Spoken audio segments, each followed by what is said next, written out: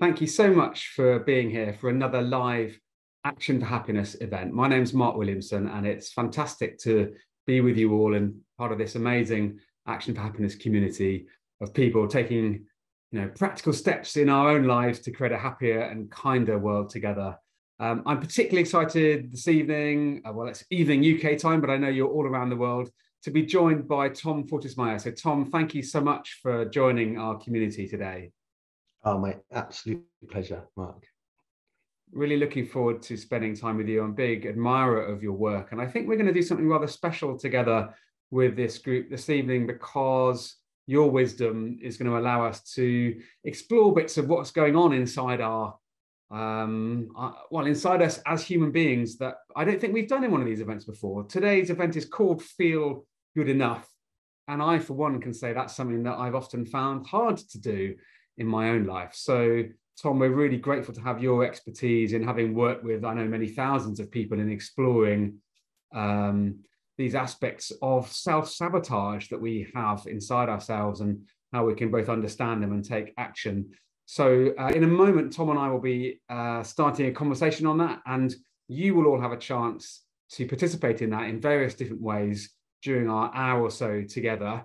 Um, if you're new to an Action Happiness event, thank you so much for being here and very warm welcome. If you're if you're back again, thank you for being part of this community.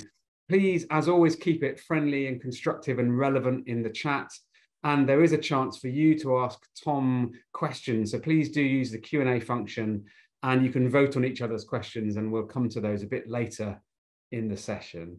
Uh, but Tom, uh, I'd love to start actually by just asking you to share a bit more about your background, you know, your, your experience both professionally, but also why this topic of self-sabotage and, and feeling good enough is is so relevant to you and and perhaps to all of us. Thank you, Mark. Yeah, so I've been a therapist for nearly 24 years now, and pretty rapidly when I started my practice, I became absolutely fascinated with this self-destructive tendencies that I saw both in myself and in my clients.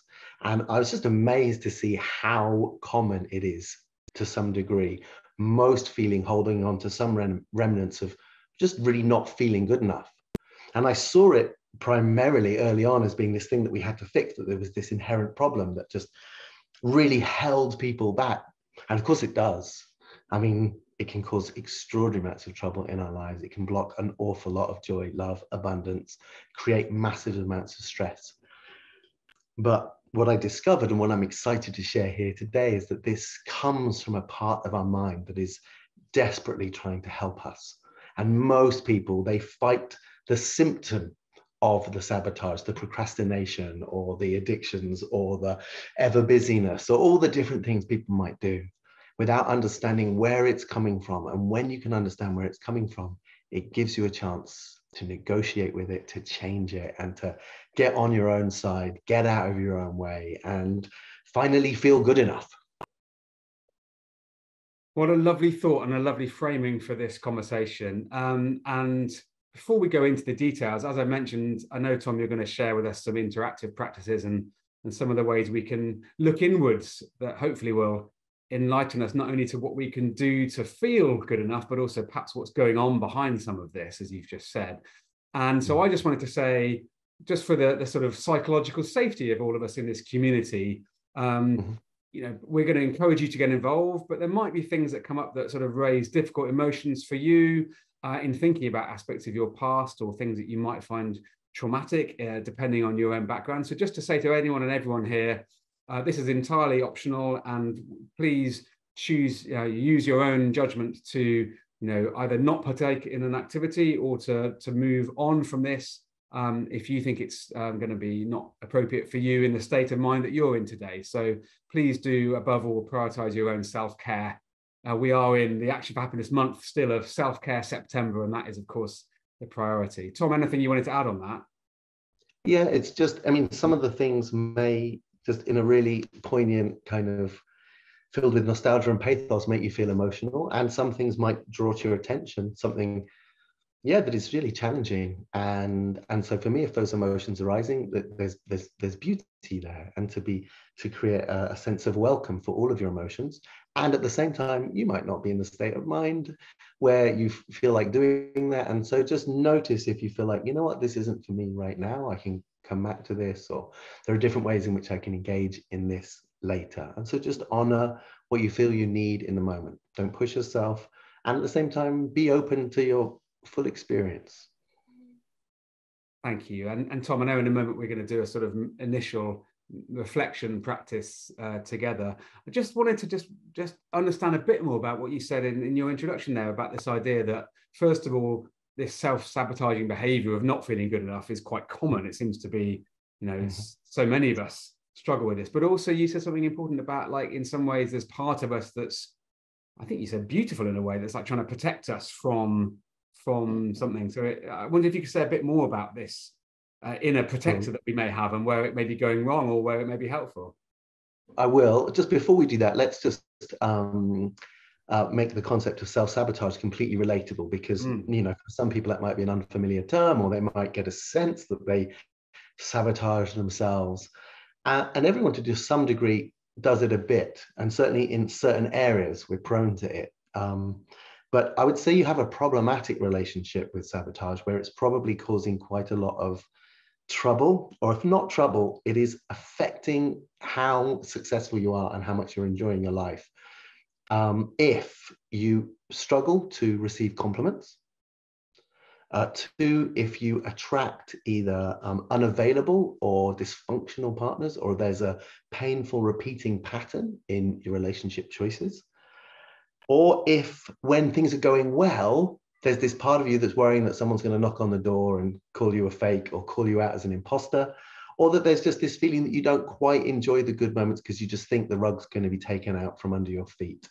Um, and and finally, if you if you struggle with compulsive behaviors or addictions that you're doing more than you want to, or you feel you have less control, um, and you find yourself marveling at, at these behaviors, knowing that they prevent you from moving forward in your life, then that those are pretty strong indicators. But the first is probably the most reliable indicator.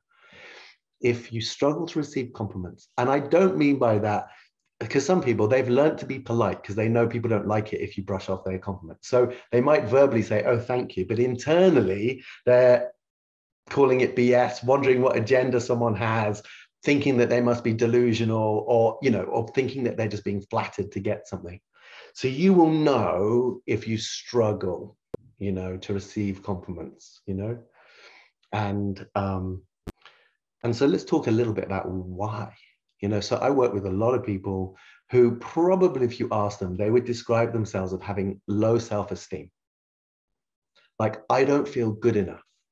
And people feel as though it's this set piece, it's this set feeling. It's like, oh, I haven't had the experiences or the support to feel great about myself. And so I don't, I just don't feel that good about myself. I don't feel good enough. But the truth is, most commonly, actually, we have a part inside us that doesn't want us to feel good enough. It is opposed to us. And this is the piece, the saboteur, the internal saboteur. It's a part of our psychology. And it is doing that. And it is causing, for some people, extraordinary amounts of trouble. Extraordinary amounts of trouble and costing a fortune in some areas. And compared to the joy and the abundance we could be experiencing, proportionally, it's devastating. And what a lot of people do, if they spot that or they feel that, they go to war with themselves. They try and use willpower or magical mornings or affirmations or visualizing, or they're putting all this effort into being a better person. But then they're trying to battle with this internal feeling of not being good enough, thinking it's some fixed point they have to work on without realizing it's actually being created upheld and perpetuated by a part of us on purpose. And that, on one level, is terrifying, but on another level, is amazing because we can we can we can find that part, and we can negotiate with it, and we can thank it, and we can understand when we take it to it and it, we demonstrate to that part that we understand why it's doing what it's doing, which we'll share in this conversation, then it's like, oh, finally, you understand why I've been causing all this trouble for you. Now we can work together. Now we can work together. And so it's game changing. It's absolutely game changing, completely transformed my life. And I work with people who've been in therapy for years. And that this piece is just not fully fully known in a lot of traditional talking therapies. It's not fully represented, it's not fully served. And uh, it just it makes such a huge, a huge difference.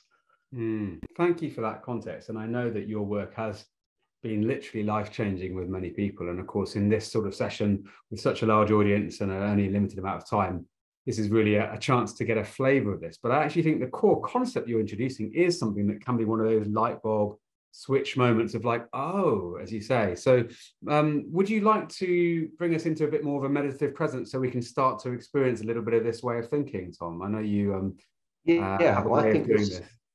Yeah, so we're going to start with just one process, and it's an invitation. It's like I'm going to get you to close your eyes, slowly breathing down, and, and the purpose is I'm going to invite you just to feel into, to try and locate in your system this belief or this feeling that I'm not good enough you know, and I want you to do it gently and calmly in a relaxed fashion, ideally from a place of curiosity. And if you if you think to yourself, you know what, I don't want to do this bit, that's totally fine. It's just going to be a few minutes, but I invite you, if you if you can and you want to, just to take a moment, yes, to close your eyes, slow your breathing down. The best way to do that is to concentrate on breathing out for longer than you would usually. And just bring yourself into some form of mindful presence. And instead of kind of coming down from your head into your body, I invite you instead to just to widen your awareness to include your head and your body. And then as you breathe out, maybe relaxing your jaw, which lets your body know that you're safe. And then just before you breathe in, pausing. And then when you breathe in, breathe deeply and then pausing at the top of your in breath before you breathe out. And then just trying as best as you can to come into stillness. If you have to scratch an itch or cough or rearrange your body, that's fine. But in the meantime, just enjoy being still.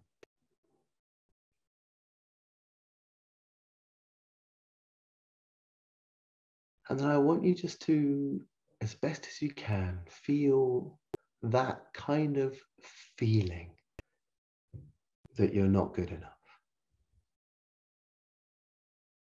The part that maybe pushes away compliments or doesn't feel comfortable when things are going well or doesn't allow you to put yourself forward or take full advantage of opportunities that part that just holds you back. That we might locate or feel as, yeah, this feeling of I'm just not good enough. And from a place of just objectivity, I want you just to notice that actually that feeling isn't really a belief, but rather more a desire there's an energy in it where really it would say, I don't want you to feel good enough. Now, don't criticize that part or attack that part, even if that's surprising, whether you can locate that or if that feels true to you. I want you to feel it's not some passive, fixed belief. It's an energized, active part of you trying to continue this feeling that you're not good enough it, it doesn't want you to feel amazing. And I don't want you to fight that part. We're going to come back and speak to that part later. So, in the meantime, in as kind and as compassionate way as possible, say, I'm sorry we've been fighting. I'm sorry we haven't always seen eye to eye. I want to come back and speak to you a little bit later. And whether that connected for you or not, whether that was just you didn't feel that or that didn't make any sense, don't worry. And if it did, trust we're here to talk to that part. And I invite that part to listen as we go into more detail now about why it does that. And so then you can just allow your eyes to open. And yeah, whether you connected to that or not, just for the purpose of this conversation, I'd like to explain why that why there is a part inside most of us that doesn't want us to feel good. And essentially, when we were younger and our needs were not being met, either in big ways by parents that were negligent or abusive or abandoning, or in lots of small ways, even in an environment where we had caring, loving parents, there are many, many moments and events where our needs are not being met and we are being let down. In those moments, when we're two, four, five, seven, 12, all those different moments, particularly in the moments pre seven, though, when our needs aren't being met, we have one basic choice. It is either our parents are not okay and we're dependent upon them, or it is us. And as a child, it is preferable, preferable for us to rather think ourselves as failing, as inadequate, as deserving or undeserving, so deserving of the bad treatment. And the simplest, I saw a meme the other day that summed this up brilliantly. It said, Don't shout at your kids. They won't hate you, they'll hate themselves.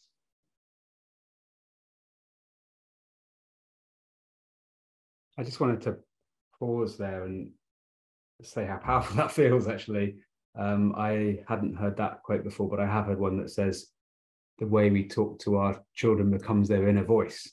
And um, I think what you've just shared is incredibly um, yeah, moving and powerful and deep. And I'm seeing a lot of that in the chat as well. Um, so let me just see if I've understood what you said. So when we're young, particularly when our formative time and our need is not met and we perhaps feel let, let down, this we can either think, well, that is genuinely my need not being met because someone has not been able to meet my need, like a primary caregiver or parent, or mm-hmm. it's something about me that's not worthy of love and needs being met. And it's it's safer for us to assume the latter rather than to assume that our parents may not be perfect or are. Is that is that kind of right, that right? exactly that. We cannot break the golden rule of a child psychology which is my parents are, are good and safe and perfect mm. and it's not loyalty it's survivalism. Our nervous system won't cope if the things we are dependent upon are not dependable and they're not sometimes. And so what we do in those moments is we we blame ourselves. And so we have inside us then a part of us that doesn't want us to feel good about ourselves because if we're okay what the hell was that? What the hell was that? So the reason why someone will push away a compliment is what you're really saying if someone has dysfunctional sabotage levels which is more common than people realize is when i pay your compliment what i'm really saying is your parents let you down it's like, no, no, no, I don't want to celebrate my birthday. I won't send invoices, even though people owe me money. I won't receive a compliment. And magically, if I'm out at a bar, there could be 25 men here that would adore me, dote on me. But no, no, I'm going to go for that one guy who will never text me back or see my value because actually that fits my narrative. So the two defensive beliefs that we build are I'm not okay and it's normal that people will let me down.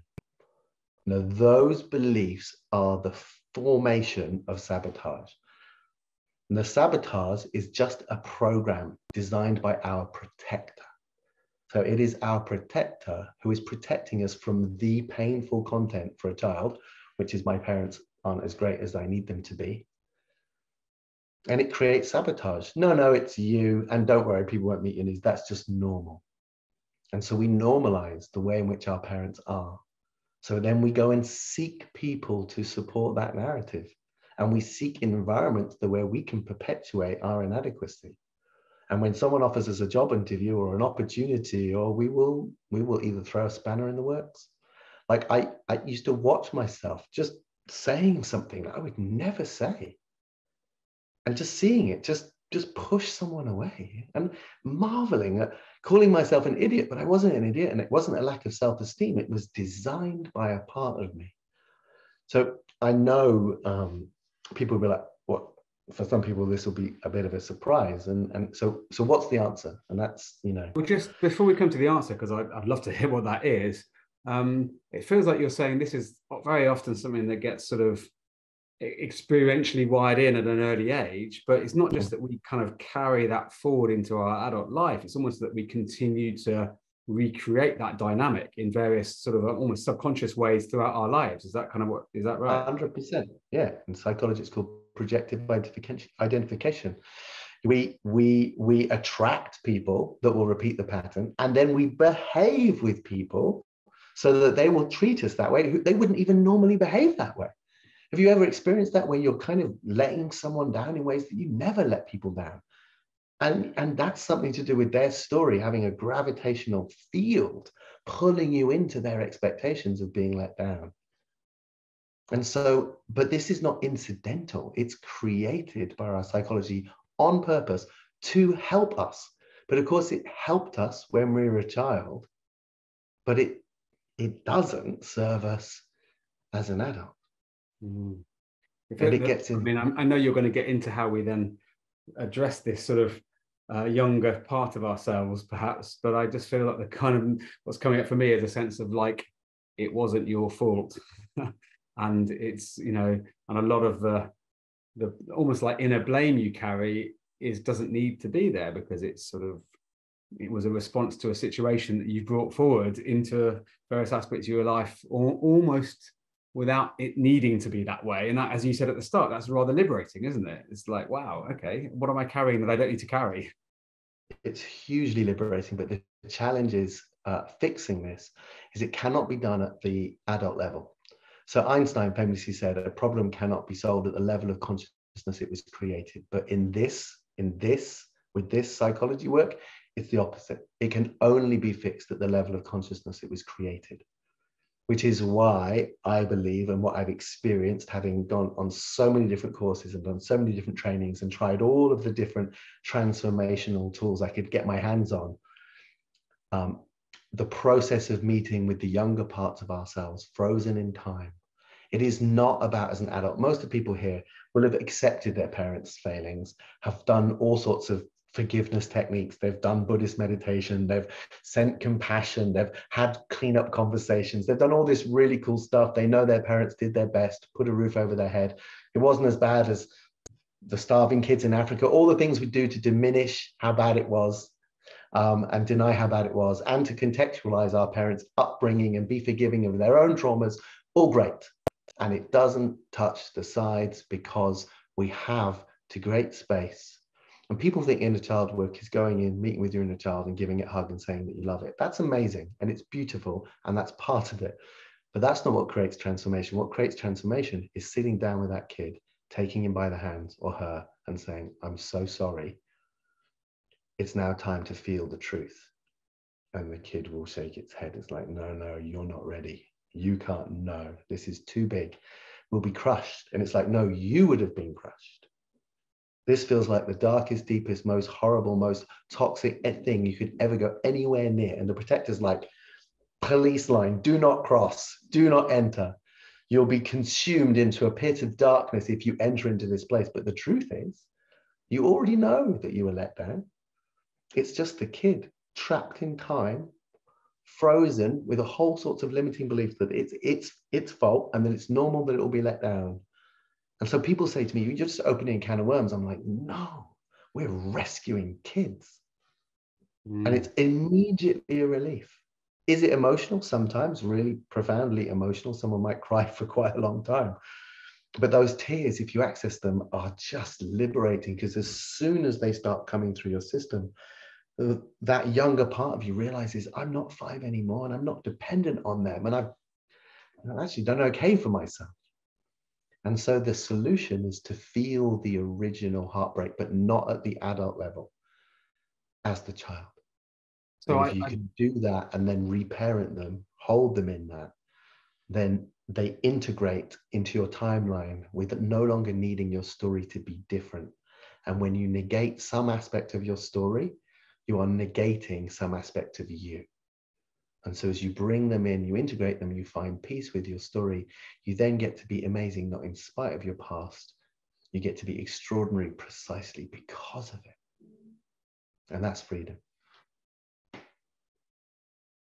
So, although Tom, I know you do this work often one to one with people, and this is obviously quite deep and rich stuff, I do think I would love you to help us learn a little bit about how you can have those conversations with the inner child, as you talked about. Before mm. we do that, I, I, I, you said something to me when we spoke before that really stuck with me about how we can sort of orientate this more in our adult lives before we kind of look backwards as to the causes. And you said there's this quote about if it's hysterical, it's historical, and like sometimes tuning into the things that make us really emotional now is a little mm-hmm. warning radar or not kind of alerts us to some of the things that might have been uh, un, un, unresolved. Do you want to say a bit more about that? Because I think that's a really helpful way of noticing this in a way.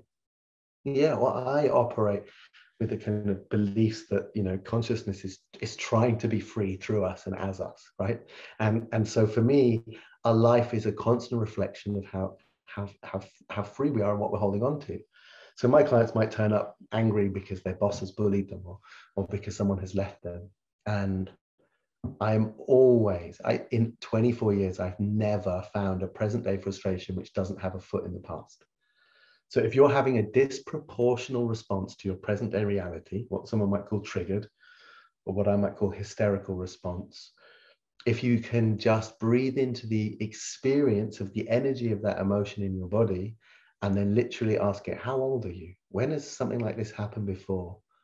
What does this remind me of that is hmm. unresolved? And then it's incredible.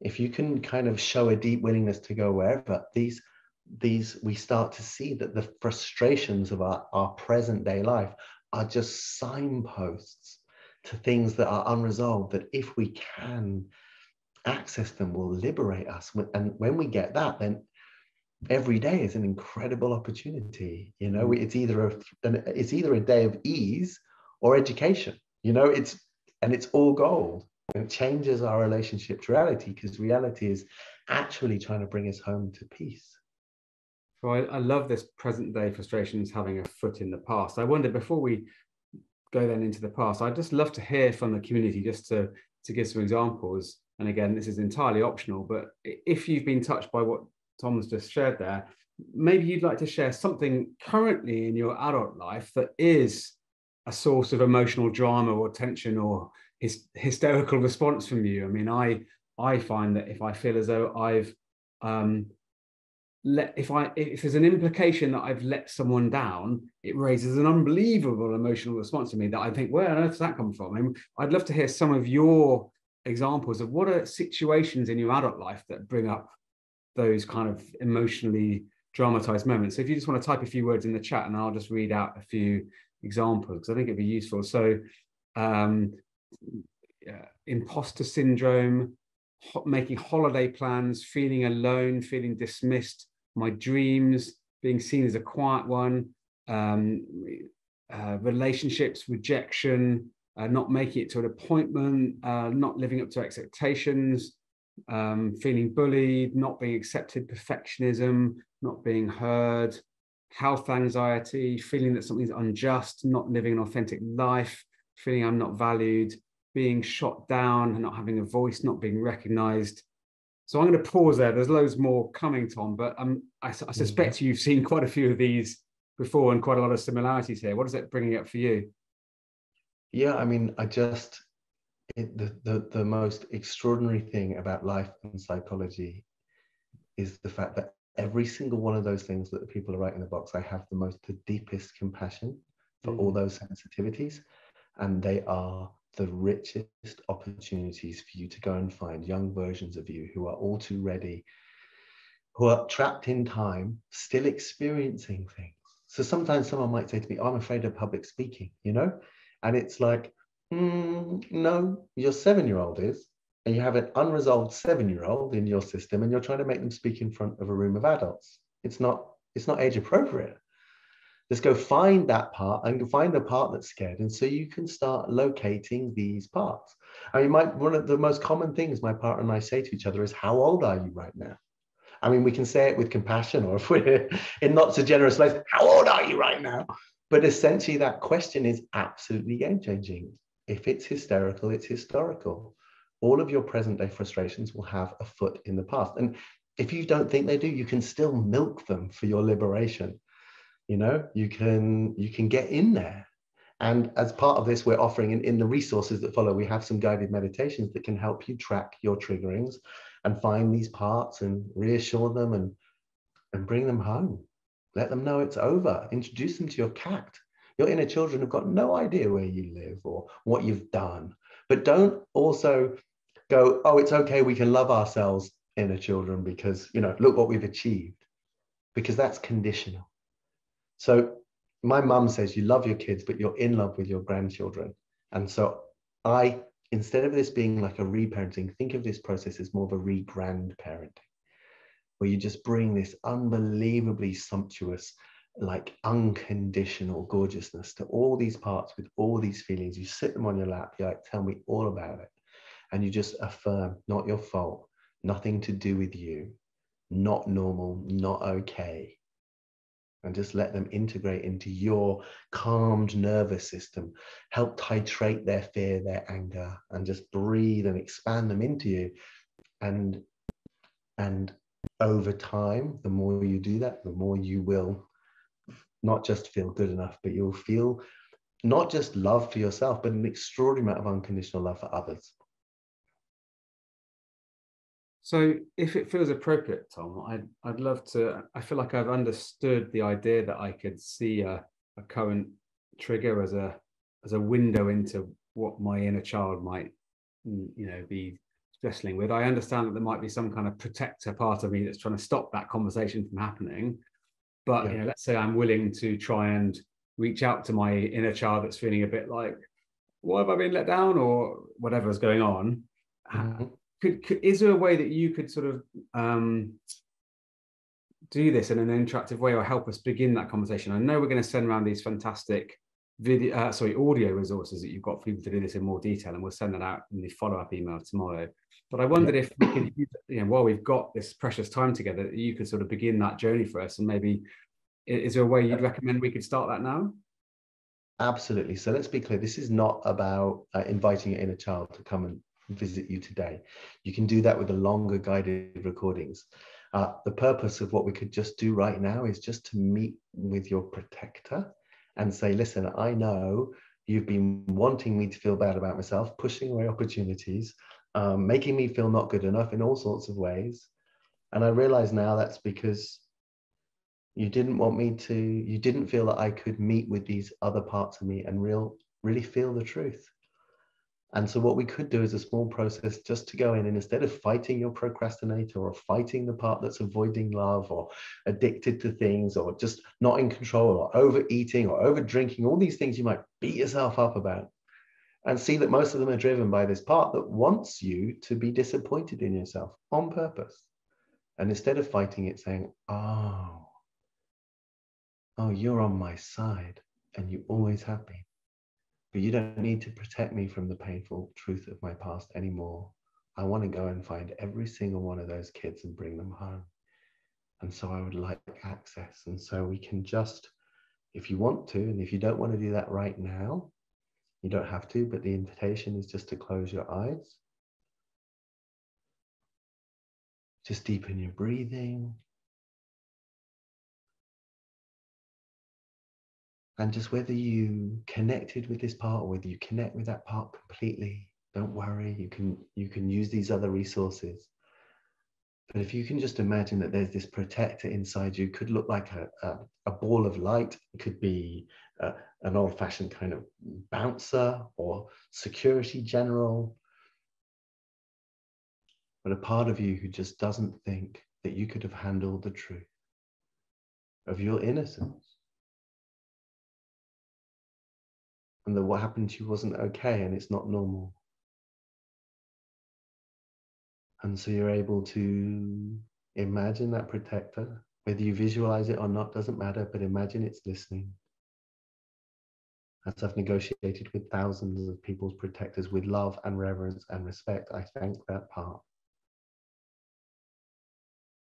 And I reassure it that it is time and that it will be for your betterment and that you are ready and that if over time you are prepared, that you would like access to any younger versions of you still trapped in time, blaming themselves or thinking it's normal for them to be let down because you would like to bring them home.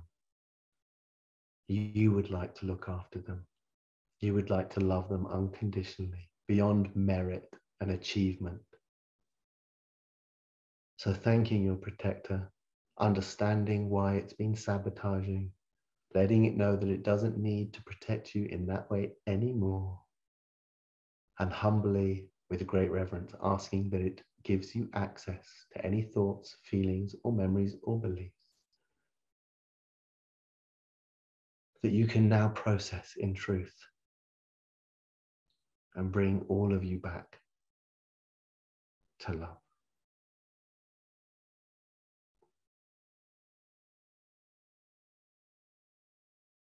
And so just allowing your eyes to open and you know, when I, use the term inner child, it really you can do inner child work on who you were yesterday.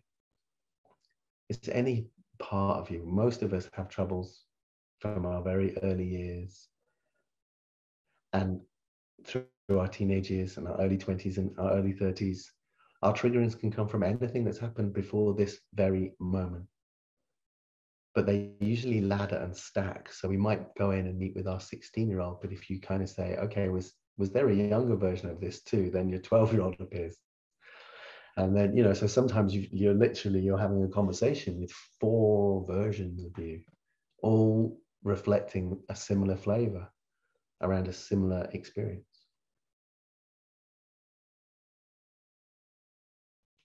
Um, but just as a final yeah. contemplation before we go to a Q&A, I know you've got some questions, Mark. Mm. There's two questions that I like to ask everyone, really. And I think they're, they're the most important questions that anyone can ask themselves.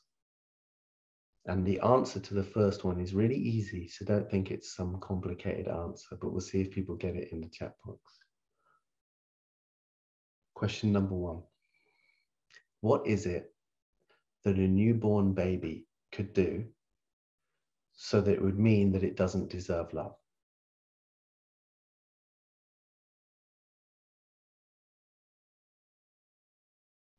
People seem to be getting it. Nothing.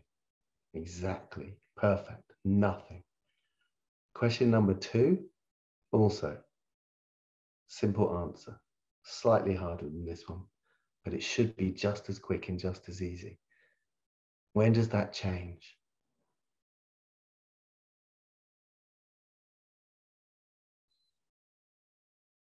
Perfect. Never. And when we get that, we can forgive every single thing that's ever happened to us and we can forgive every single thing that we've done. It's too hard being human. We're only alive for a fraction of time, nowhere near long enough to become wise or in control of anything. And so love, truth, forgiveness begins to move through us because it was blocked because a child didn't want to feel innocent because if they were innocent, then they were let down. But if we can feel the letdown and not to rush to making, to not rush to forgiveness for the parents, we have to feel the grief, we have to feel the anger, we have to go through the layers of the child's disappointment and their, their, their responses and then we have to look at the consequences. We have to feel the grief of what it's cost us. And then we have to also clean up conversations with people because we were being anti ourselves and pushing away love and sabotaging. We've probably done a whole bunch of hokey things that need to be cleaned up, that we have to take responsibility for. But we do all of that. Feeling good enough returns because it's our natural birthright. It's who we are, it's what we deserve. This makes me feel just an enormous sense of um, compassion for just human beings generally. I mean, everyone who's, who's ever felt not good enough, and all those the children within each of us that have somehow experienced um, this kind of trauma, I guess. And um, yeah, I feel like for myself, and also seeing what I'm seeing in the chat. Also, I must say, I know you said not to go there too quickly, but as a parent myself and feeling about all my imperfections and all the things I screw up in terms of how I try to bring love uh, uh, for my own children, but yet get things wrong. And bring all my own baggage to those relationships. I, I do also feel a real compassion for par- every parent and primary caregiver of all time because uh, we're all just flawed human beings, and um, none of us, I think, mean to leave that, um, you know, to create those problems for the inner children. But I think so. I just find myself generally filled with a sense of compassion for all beings, really. yeah, me too. But I take some comfort. I take some comfort because the more work I've done on myself, the more I wouldn't change any of it. And I am tr- truly grateful. And I play this game with my partner when maybe she's getting frustrated with her mother or father and i do it with myself i've played it on myself for years and i'm i'm, I'm looking at her looking at our kids. And i say to her hey you know which hair would you change on her head?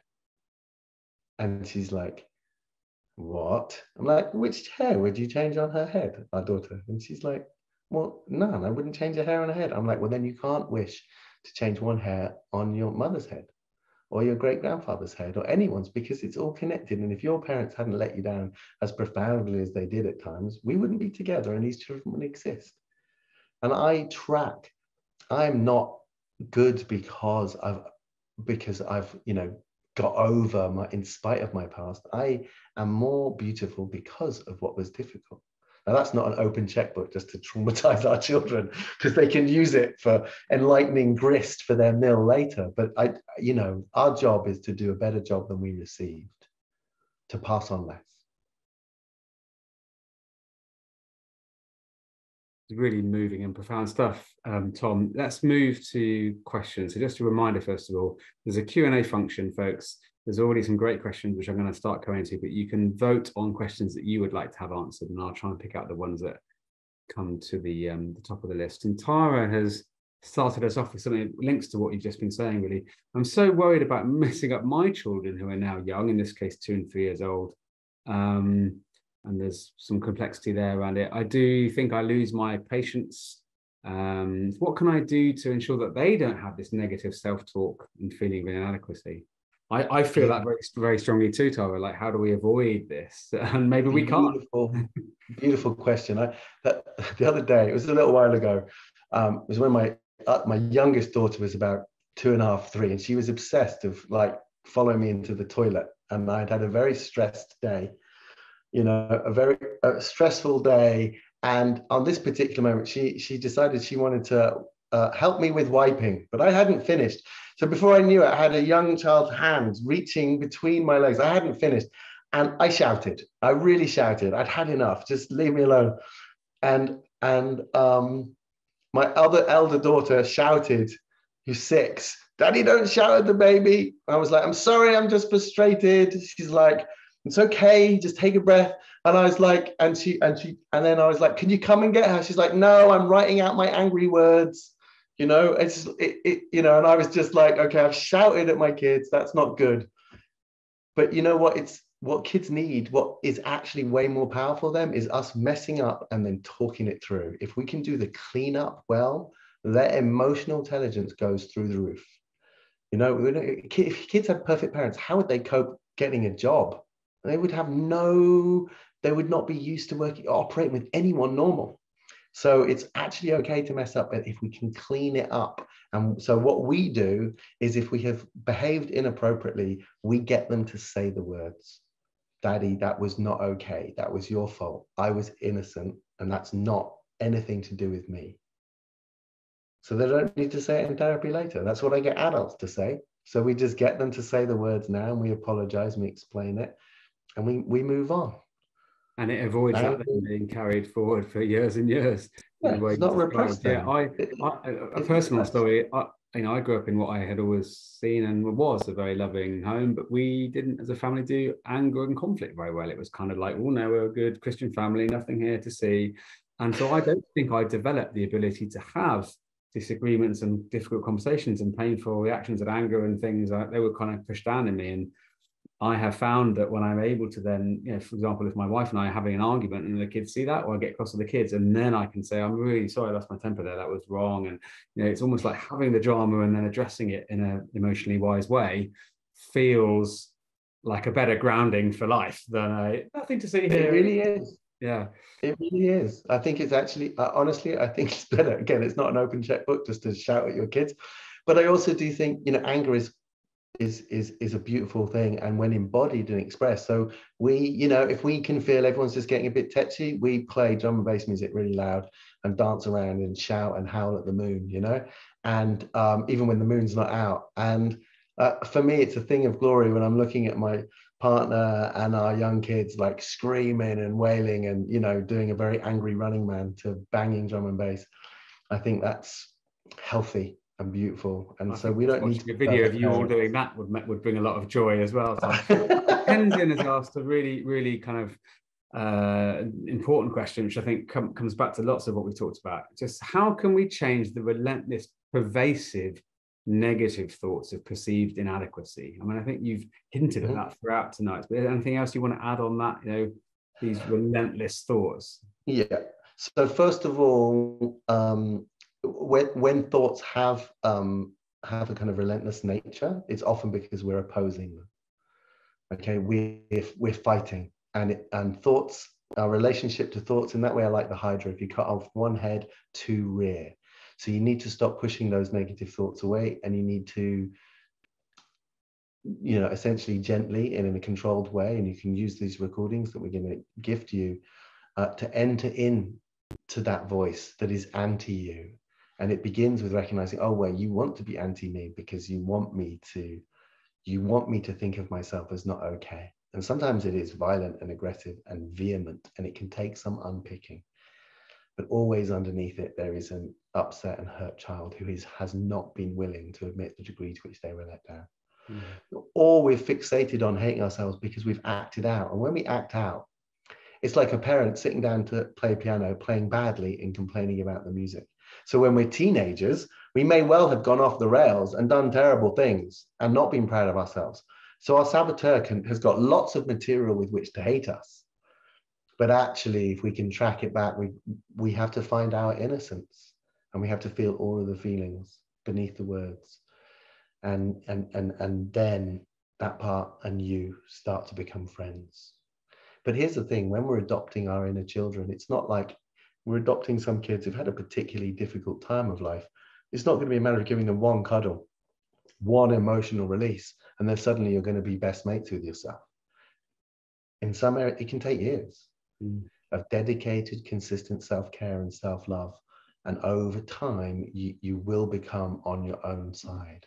So I'm, I'm not being flippant or just saying, oh, it's really easy. This is really, really quick. I've been doing healing regressive work on myself for a long time, and I still find errant parts with errant beliefs, unnecessarily limiting beliefs that, that can just begin to change. And some things super quickly, and other things take a lot longer.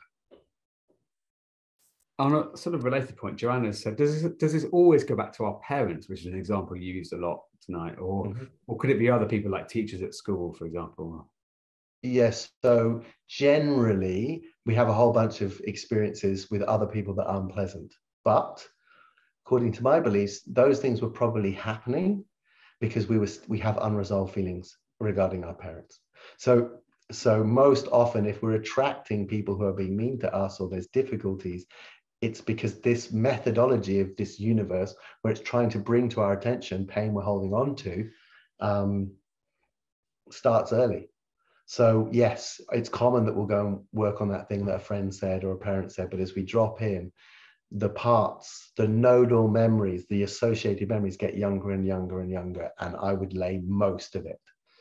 But it's not blame at your parents because what are we going to do? Go and beat up your great, great, great, great grandparents? It's it's no one's fault.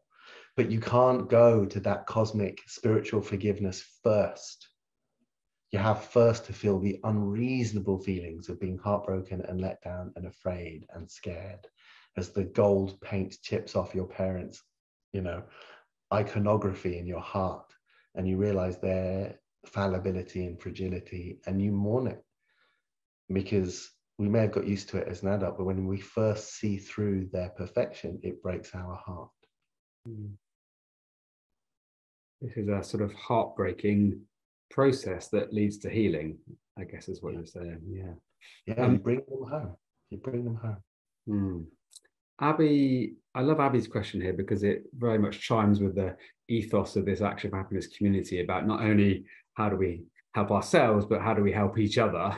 And so the question is, how do you support someone else who's experiencing or depression or anxiety and try to explore the good enough approach that we've been talking about here today, especially when their negative self view is really entrenched? Can we do the sort of thing you've been doing for us today with people around us?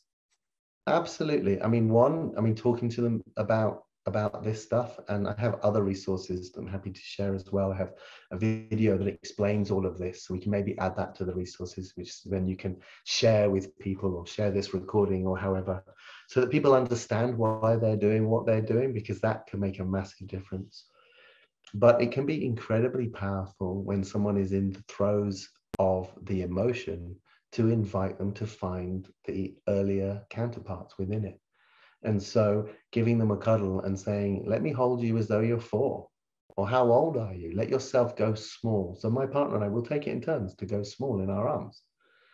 And it's okay, you know. And sometimes we both want to go small.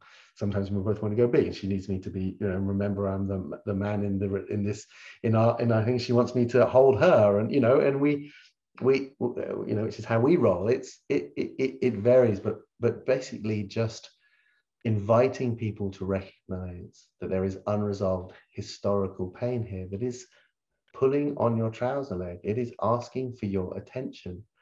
All pain is as yet unlistened to freedom, but it can take courage to enter into these truths. Well, I think that's the, one of the, the only way. The only way out is in. Sorry, go ahead. No, no, no. I love that. The only way out is in. I, I was going to say one of the key things I'm going to take away from this is this idea of um, if it's hysterical, it's historical, and use that sort of like when I feel a real rush of emotional, uh, I don't know, a sort of a signal to me that I'm really responding in a difficult way to something is like, well, let's just tune into what's behind that and where that, how, you know, your question of how old am I feeling right now, I think is so powerful. But Laura's got a really interesting question, which is about how much of this is inner work as opposed to relational work. So she says, how do, how might I approach this with parents like if they think I'm saying that they're not good enough, um, mm-hmm. you know, we, this could be well, it's a long question, but it's very difficult to have honest conversations without them feeling that I'm pointing the finger, which I don't yeah. want to because they're wonderful parents, but we live next door to each other, so our lives are intertwined. Is it helpful, Tom, for us to do this in relation, or is it more of inner inner work? I guess.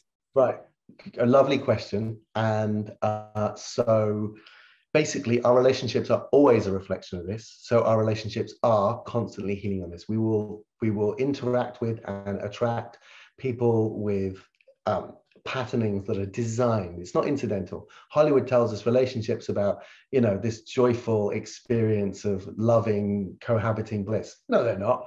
Relationships here are as mirrors to the things you're holding on to. When it comes to speaking to your parents, as we begin to journey into our healing, it is really common that we want to talk openly and frankly with our parents about the terrible mistakes they made. So that they can take some bloody ownership of what they've done to us and maybe apologize so that we can then move on. This will never work and it is never useful or productive. When you have journeyed through all of these layers and you are ended up a place where you recognize you are actually, as hard as it was, this is about the evolution of your consciousness and evolution of shared consciousness. And it's actually, as hard as it was, an incredible opportunity for you to be even more incredible and amazing as a person. We are deeply grateful for everything that our parents did, profoundly so, in a way where the only reason we would want to talk to them is not so that they own up to the terrible things that they have done, because we wish for them the same freedom that we are now enjoying. And that is the difference between you are messed up and you mess me up and I'm angry with you and I can't function in life because of you failed me. No parent can ever hear that. But if instead it's like, well, it was hard, but I made it hard on myself because I made it mean that I wasn't okay. But now as I've transformed that, I'm more liberated and more amazing. And now I wouldn't change anything. And I feel so good. I love you. And I want you to know that whatever your parents did to you, it wasn't your fault. And you're loved and I love you as you are. And thank you for everything you've done for me. In that vacuum, parents are like, No, I really let you down, and I'm so sorry. You actually get that purchase when you no longer require it. And that's an expression of love. And if you're listening to that and you're like, I am miles away from that and it makes you angry, honor that. It's because you've got more unreasonable healing to do.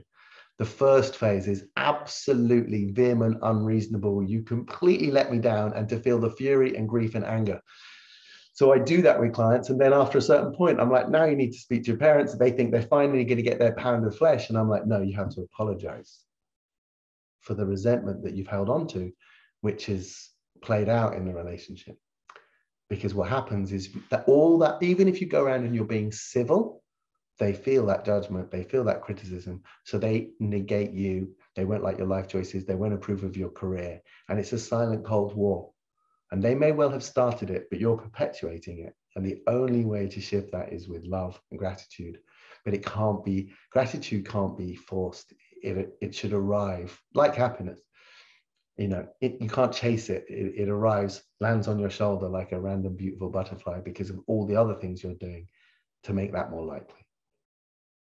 Wow, Tom, I'm, I'm, I don't know about anyone else here, but I'm getting kind of shivers down the spine hearing and thinking about some of this. And um, it, this links to Abby's question, which we're, we're not going to have time for anything more now, unfortunately. But Abby said, How do we move forward with the relationships that we have with the people who let us down? And you've just explained that beautifully. But what it's brought up for me, Tom, is this sense of recognizing that, you know, yes, we have the inner child within us that's still, you know, dealing with past traumas. But actually, when you look at our parents, you remember that they are bringing them and their inner children as well from what relationship they had with their own parents and back and back and how how it's continued and that again brings up a sense of wow we're all just like in need of a bit of self-love and a bit of love for each other totally I mean, it's just like I say, what we're going to do is just go and beat up our great, great, great, great grandparents. We can, can, get to all the forgiveness stuff later. But I will say this one thing, though it is all about unconditional love, but that doesn't mean unconditional proximity. So there are some people, because of how they're turning up in the world, I love them unconditionally from some distance.